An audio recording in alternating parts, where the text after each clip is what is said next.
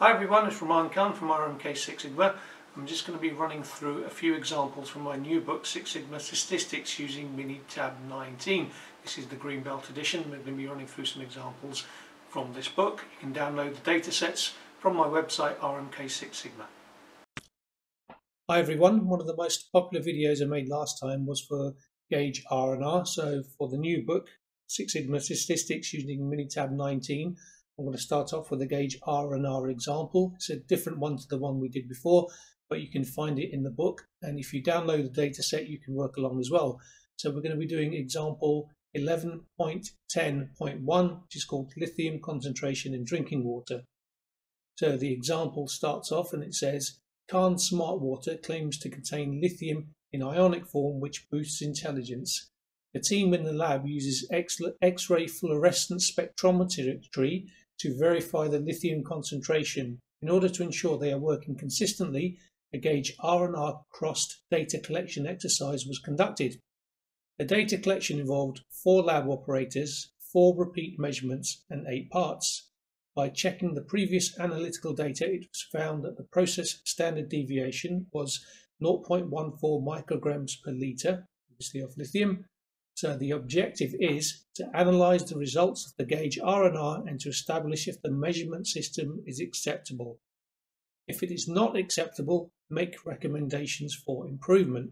One of the key points here is that we've only got eight parts, which is below the minimum number of parts required uh, to be able to understand the process variation. But what we have got is a process standard deviation of historical measurements at 0.14. So we'll be putting that into the gauge R&R menu instead of asking Minitab to calculate process variation from the eight parts that we've got. Okay, so let's now have a look at the data, which I've already entered into Minitab 19. So this analysis has got two steps. The first step is to produce a gauge run chart so we can look at the data and make a visual assessment. And the second step is to catch actually conduct the gauge R&R crossed. So I click Stat, Quality Tools, Gauge Study, Gauge Run Chart.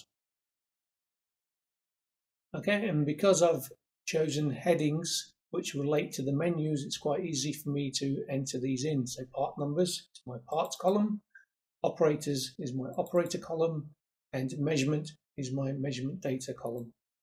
And I also recommend that you always put in some gauge info if you're going to be doing repeat measurements and analysis because it's really easy to forget which data related to which analysis. So you can click on gauge info, add in some information there, and that will be stored with your analysis. Okay, I'm just going to click OK on that. I'm not going to enter anything. Just going to click OK to produce the gauge run chart. Okay, first of all, I'm going to increase the size to 200% so we can see it nice and clearly. Okay, that's much better. So now, just to explain the gauge run chart before we start, uh, we've got our four operators, and it just so happens by coincidence that's my brother's kids' names. Uh, and I think the symbols will be consistent into the gauge run uh, gauge R and R charts as well. So brother will always be blue, and R will be red, Miriam will be green and Osman will be the purple triangle.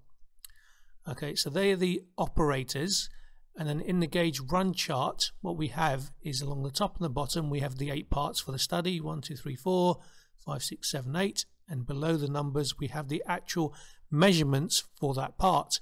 So for Badr, these were his four measurements on part one. Then we have Hanan's four, then we have Miriam's four, then we have Osman's four measurements. Okay. So what you can see in the gauge run chart is three things. You can see repeatability. So that, as we know, is the same operator measuring the same thing over and over again. And the variation that we get, we call that repeatability.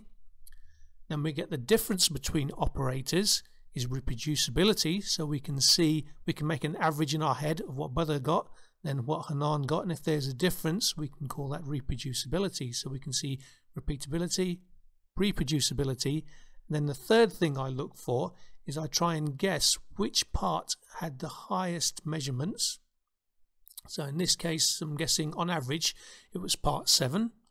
And then which part had the lowest measurements. and I reckon it's part three, which probably had the lowest average measurements.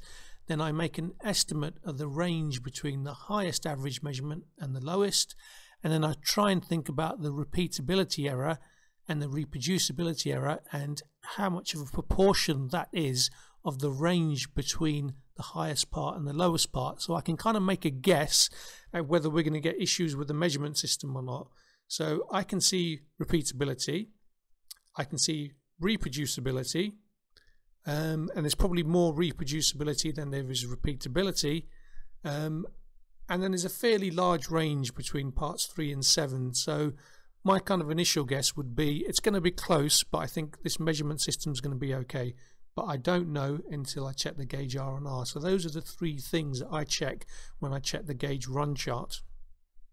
Okay, let's run the gauge R and R in the assistant. So click on assistant, click on measurement system analysis.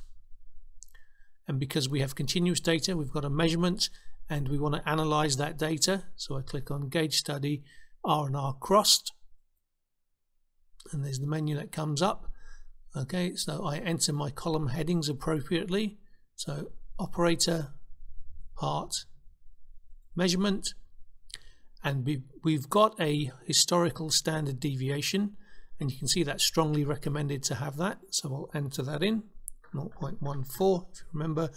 And we don't have any customer specifications so I'm going to leave that blank and just click OK to run the gauge R&R Okay, I'm just going to reduce the size to 140% so it fits within the output pane.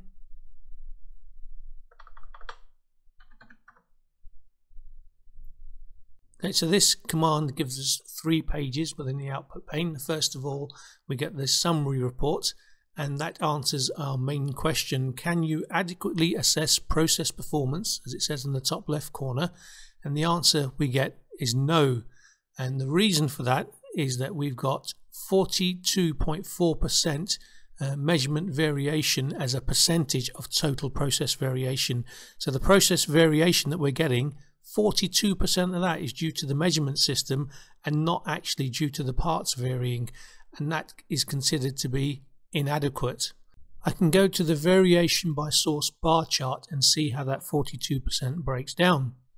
Okay, so total gauge variation, and I can hover over each bar chart to get specific values. You can see that 42.4% there for total gauge error, and that is made up of repeatability, 17.2%, and 38.8% reproducibility. So these two add up to make the total gauge error. I know they don't actually add up to that value.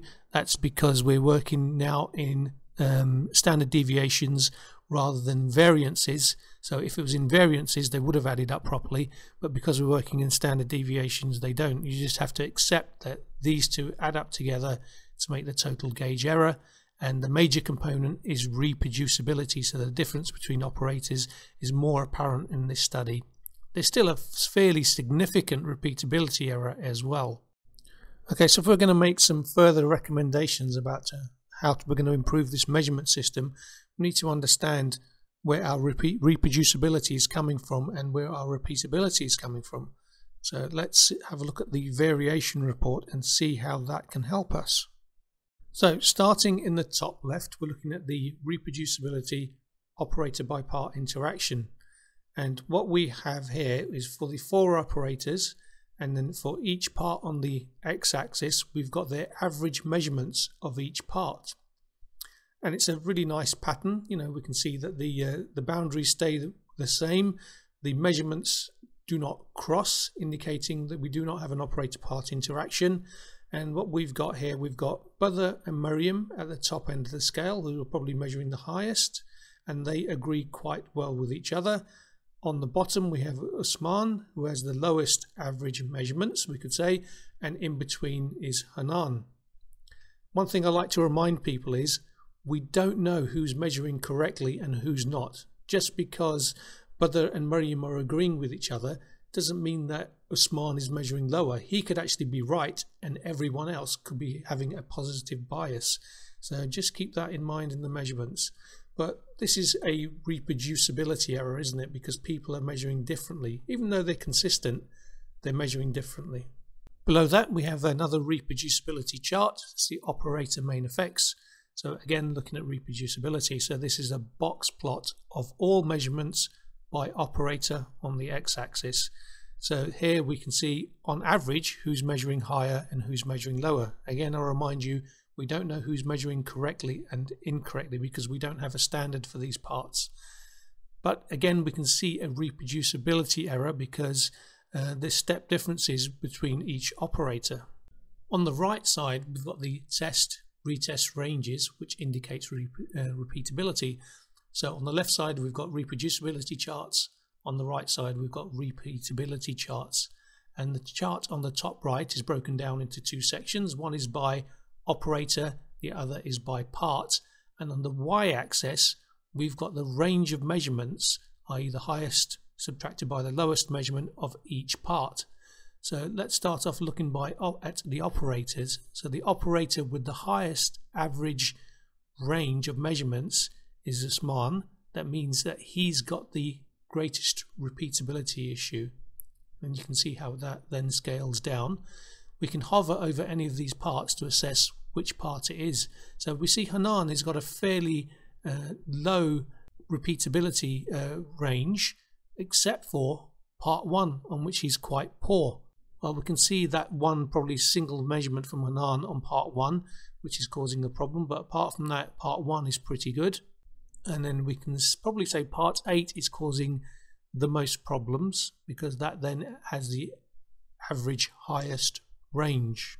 So what does this tell us between repeatability and reproducibility? Well, if I was going to target one person and look at their particular method by themselves in isolation, I would probably start with Usman and look at Mariam as well to bring down the repeatability value. And then if we're going to look at everything as a whole, we need to look at this average spread across the operators and work out a standard operating instruction that they can all work through uh, to bring them into better alignment. Finally, at the bottom, we've got some metrics in terms of percent study variation. And we've, we saw these on the summary report as well, but we can see how they're broken down. One thing to note here is that the operator part interaction is not present. So that wasn't deemed to be significant, but when that is there, we know that a particular operator is having a problem measuring a particular part. And one other thing that we should mention here as well, Minitab 19 is now calling this percent study variation, whereas before in older versions of Minitab, if you entered a historical standard deviation, it used to be called percent process variation. So just a slight change in the naming there. So it's always called percent study variation whether you enter a historical standard deviation or not. And then the last sheet that we have is the report card and there's no warnings on the report card, just information about entering a historical standard deviation. So that uh, brings us to the end of our example. Uh, I'll be putting more of these online. If you like that, please give us a thumbs up or subscribe to the channel.